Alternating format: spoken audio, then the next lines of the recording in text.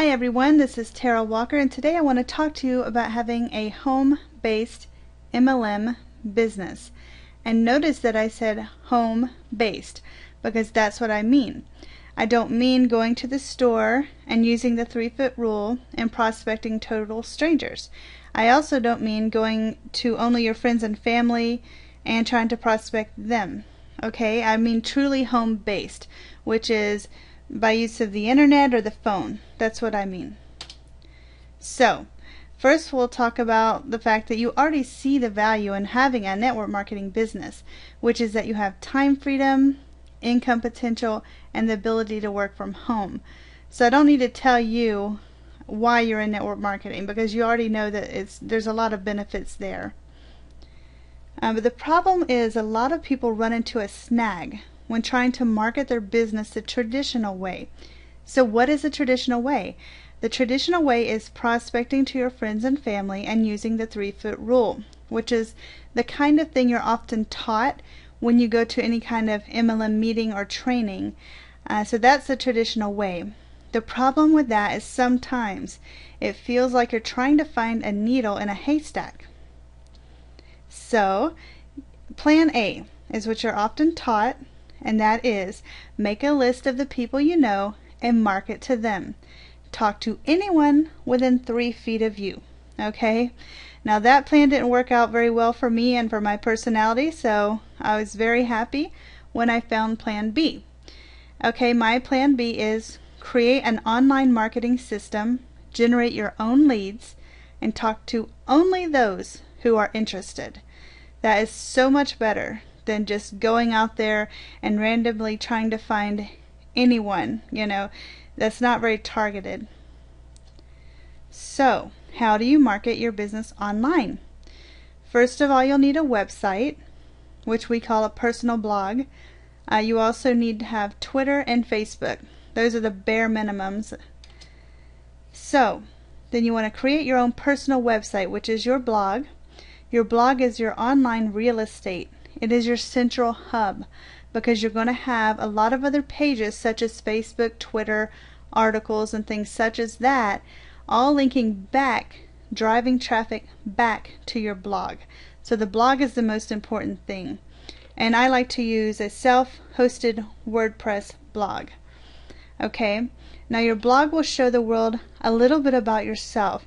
So you don't want to make it to where you're just giving information, just black and white you do kind of want to put your own opinion in there and let people know what are you passionate about who are you as a person okay?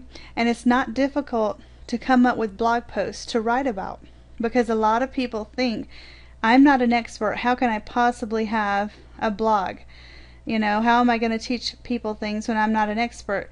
But actually you have to always be learning in your business anyway so you just take the training that you're already getting and seeking, and then you write about that.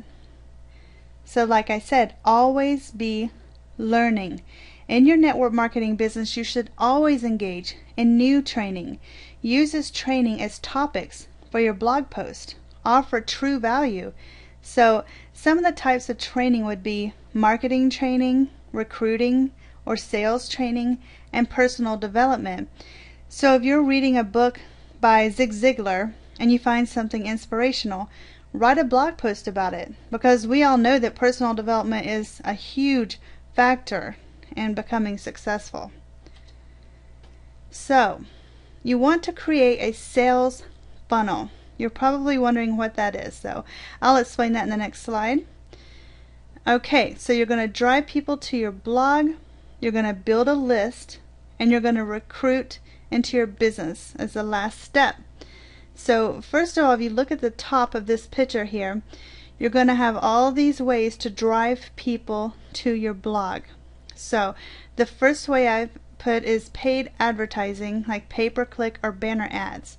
You can do that if you choose. Another way is video marketing such as YouTube. The other way is social networking like Facebook and Twitter.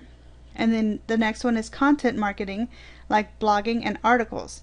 So there are many more ways, but basically all these ways are driving traffic to your blog. Okay? So once people are at your blog, You can build a list of followers, people who like to read your content.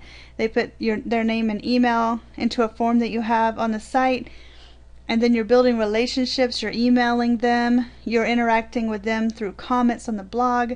And you can also make commissions during this phase too because at times you may tell them about a great tool that you're using and uh, you could get paid a commission off of that.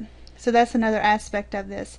Uh, but eventually, you can lead them into your primary business because basically you're offering them so much value and they're going to see that you're going to be someone who's going to help them to become successful in their network marketing business. So that's why this is such a, a win-win situation because you're offering value to help them, you are going to help them and in turn you're going to build a team in your network marketing business. So basically it just comes down to offering value and attracting interested prospects to you. And so that's a good targeted way to build your network marketing business. If you do want to learn some additional tips on how to market your business online, we give step-by-step directions and a lot of training on our blog. And so that blog's at www.onlinemlmbusinessblog.com. Talk to you soon.